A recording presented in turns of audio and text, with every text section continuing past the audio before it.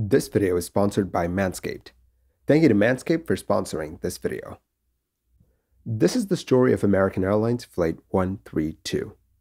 On the 3rd of February 1988, an American Airlines DC 9 was on its way from Dallas Fort Worth to Nashville, Tennessee. Flight 132 had 120 passengers, four cabin crew members, and two pilots on board. The flight to Nashville was boring, nothing out of the ordinary. The climb, cruise, and descent all were routine. Soon the plane was lining up for the approach into Nashville. In the cabin, the cabin crew members were all busy securing the cabin for the landing. One of the cabin crew members went into the laboratory, and when she came out, she found another cabin crew member checking the seats. Apparently, the cabin was filling with a light, thin smoke, and she was trying to find the source of the smoke. Minutes later, a passenger sitting in seat 17 Echo noticed smoke coming out from the seams of the carpet floor. The cabin now started to fill with this quote, burning electrical smell. The plane was still 5,000 feet from landing, and if there was a fire on board, then they would have to land this plane as fast as possible. The cabin crew immediately got in contact with the pilots. She said, We've got smoke in the cabin and we don't know where it's coming from. The pilots had just gotten their first warning that something was seriously wrong on this plane.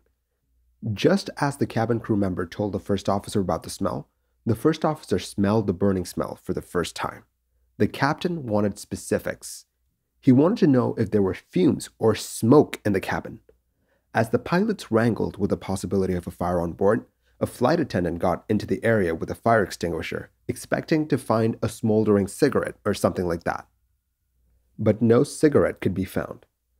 The first class flight attendant, looking back into the economy section, could see that the area was now starting to fill up with a light mist. They started removing seat cushions to see if any of them were smoldering. But a passenger in seat 16 Echo now saw smoke coming from the floor as well. Within minutes, passengers in seats 17 Bravo and 17 Foxtrot were now reporting fumes as well. This fire that they couldn't find was spreading, and it was spreading fast. The cabin crew members, unable to find the source of the fire, asked an off duty first officer in the cabin for help. He then made a shocking discovery. The floor behind row 15 was hot and soft. The fire wasn't in the cabin, it was below them. Whatever the source of the fire was, it must have been burning hot if the floor was starting to melt. Also, side note, this would be the perfect setting for a game of The Floor is Lava. Immediately, everyone started moving passengers in the melting zone away to other seats. In the cockpit, the captain still wanted to know if they were dealing with smoke or fumes. The flight attendant told the first officer that a pilot had told her that the floor was hot and soft and that they needed to land as soon as possible. The first officer wanted to know who was giving the flight attendant this information, so she handed the phone over to the off duty pilot. He said that he was a 727 first officer and then said the following You got the floor back here in the middle dropping out slightly. You have to land this thing in a hurry. The first officer now knew how serious things were back there and said, Okay, we're getting it down now. The off duty first officer added have trucks meet us on the runway, referring to the fire trucks. But the first officer didn't hear that, as he was already putting the interphone away. The pilots rushed to get the plane ready for landing. The captain again wanted to know if the cabin had smoke or fumes. The flight attendant responded with bad fumes. The fumes were so bad that her eyes were starting to burn at this point. As the approach continued, the acrid fumes in the cockpit grew stronger and stronger. As heat in the cabin built up, Flight 132 made an emergency landing at Nashville. As the plane started to taxi off the runway and onto taxiway Tango 2, the off duty first officer realized that the pilots weren't starting an immediate evacuation. So he went up to the phone and said to the pilots, You've got a big problem back here. The heat is coming up through the floor, and we better get out of here. Finally, understanding the gravity of the situation, the pilots stopped the plane and let ATC know about a potential cargo fire. They then immediately started an evacuation of the plane. Once ground crews caught up with the captain, they asked him what the problem was, and he said that there was a fire in the cargo area. So they opened up the aft cargo compartment, and there was nothing there. But when they opened up the mid cargo compartment, thick smoke forced its way out of the opening. In the end, everyone survived. When they inspected the area where the fire was, they found that aluminum beams in the area had been subjected to so much heat that they had lost their structural strength and had to be replaced. Moreover, aluminum support straps in the area had melted, and vital control cables and fuel lines had been charred.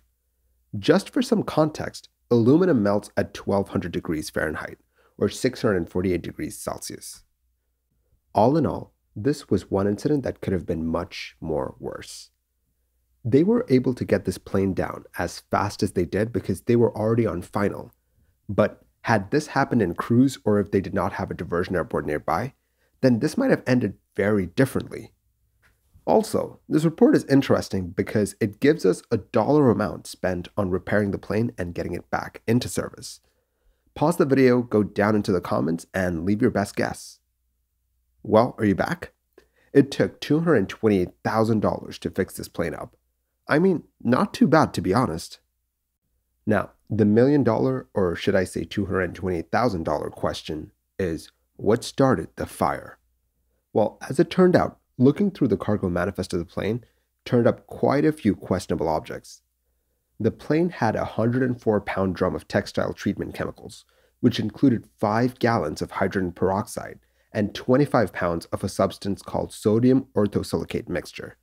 Here's the real kicker all of this was undeclared and packed improperly, which meant that the pilots had no idea that they were carrying this stuff at all. The thing is, hydrogen peroxide is a strong oxidizing agent, and if it is in contact with organic materials, it will cause an exothermic reaction, meaning that it will produce a lot of heat. But the investigators, these guys are scientists, so they wanted to know the specific mechanism that caused the fire in the first place. So they carried out a bunch of tests. They varied the amount of each chemical to see which fire most closely resembled the fire on the plane. It's basically high tech trial and error. Their findings were interesting to say the least. You see, to get a fire like the one seen on American Airlines Flight 132, the sodium orthosilicate mixture and the hydrogen peroxide needed to combine in a container that had been pre soaked and dried with hydrogen peroxide. So the investigators think that the hydrogen peroxide leaked from its container, thus wetting the drum, and then it dried. And then it leaked a second time. And when it leaked a second time, it came into contact with the sodium orthosilicate mixture and the dried hydrogen peroxide soaked drum. And that weird combination caused a massive exothermic reaction, which started the fire. Well, how did the hydrogen peroxide leak, you ask? The huge drum that held it was on its side, and there were no markings on the drum itself asking that it should be oriented in one way or another. Basically, there was no this way up sticker on the drum, which is very important in cases like these. Looking further into the matter, they found out that the hydrogen peroxide was at a concentration of 50%. Now, as per the Department of Transport, 50% concentration of hydrogen peroxide should be nowhere near a passenger carrying aircraft. In fact, the highest concentration that you can carry is 35%, and that's only if it's one quart of the stuff. Someone really broke the rules here. On top of that, the drums that were carrying these hazardous chemicals were not marked as such. There were no warning signs, no labels, no nothing. The shipper, which was a company called Textiles Treatments, which was based in Texas, did not describe the contents of the drum correctly. In fact, they tracked down the clerk that checked the drum in to see what the clerk remembered from their exchange. Two guys came in with a drum in a pickup truck and said that they needed this shipped to Nashville to demonstrate their process to a potential client. When asked about what was in the drums, they just said laundry equipment. Since that sounded pretty benign, the clerk accepted the package. No one said anything about chemicals being involved. Had they said that this drum had chemicals in it, then that might have triggered some additional scrutiny. This brought some heat on American Airlines as well. You see, American Airlines had a checklist for hazardous materials to see if they were okay to fly, but their regular check in process did not have a method to identify potentially harmful materials. So, after this incident, they changed the rules to disallow broad generic description of items. You had to be specific with what you want to ship. In this case, the true heroes of the story are the flight attendants on duty and the off duty first officer. They were at the forefront of this emergency. Had they not taken initiative, then the pilots may have delayed the evacuation quite a bit. To the pilots out there, why was the captain so intent on knowing if the cabin was filling up with smoke or fumes? Does it really make a big difference? Or are there separate checklists for smoke and fumes? I'd love to get your thoughts.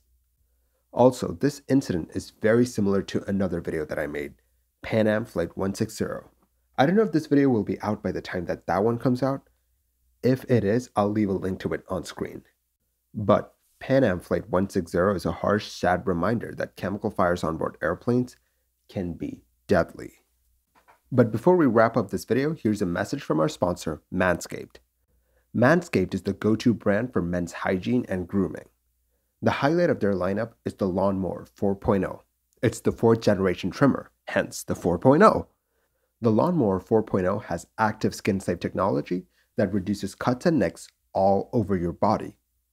Also, did I mention that it's waterproof and it's cordless? I swear, what will they think of next? That's in addition to their Weed Whacker nose and ear hair trimmer, which has skin safe technology so that you are nick free everywhere. Manscaped has you covered from head to toe. Get 20% off with free international shipping using the code MINI at the link in the description. Again, thank you to Manscaped for sponsoring this video. Thank you for watching this episode of Mini Air Crash Investigation. If you like the videos that I make, do consider liking and subscribing. It will really help the channel grow. I will catch you guys next time. Stay safe.